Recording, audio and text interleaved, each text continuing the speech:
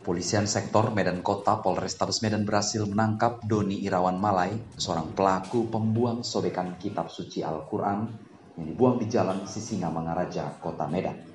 Doni ditangkap oleh tim khusus anti bandit Polsek Medan Kota serta dibantu oleh masyarakat sekitar. Kejadian ini terungkap berdasarkan rekaman kamera pengawas CCTV yang memperlihatkan pelaku membuang potongan kitab suci Al-Quran tersebut di tengah jalan. Kapolres Tabes Medan Kombes Pol Joni Edison Isir bersama perwakilan Majelis Ulama Kota Medan dan Badan Kenaziran Masjid Raya Medan pada saat menggelar konferensi pers mengatakan pelaku mendapatkan kitab suci Al-Quran tersebut dari dalam Masjid Raya Medan setelah selesai melaksanakan sholat. Setelah mengambil Al-Quran, pelaku kemudian mengoyak kitab suci tersebut di kamar mandi masjid. Dari satu lembar kertas dibagi menjadi empat potongan. Polisi menyita potongan kitab suci Al-Quran, baju yang dipakai pelaku saat melakukan aksinya, satu buah handphone, serta uang tunai sebanyak Rp770.000 sebagai barang bukti.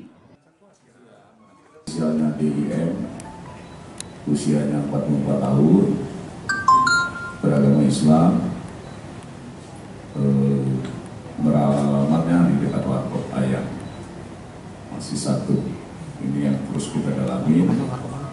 Kemudian untuk barang bukti di sini ada beberapa yang sudah kita cita dari TKP ada potongan-potongan uh, kertas dari kita sudah ulang kemudian ada HP ada bukti uang juga yang akan kita dalami. Adapun modus jadi mengambil Al-Quran ketika sholat di Masjid Raya. Kemudian tersangka DIN ini membawa ke kamar mandi, kemudian merobek. Jadi satu lembar menjadi empat bagian. Majelis Ulama Kota Medan dan Badan Kenaziran Masjid Raya Medan sangat mengapresiasi kinerja kepolisian karena berhasil menangkap pelaku. Dari Sumatera Utara, Zaf Ahmad, Tribrata TV, Salam Tribrata.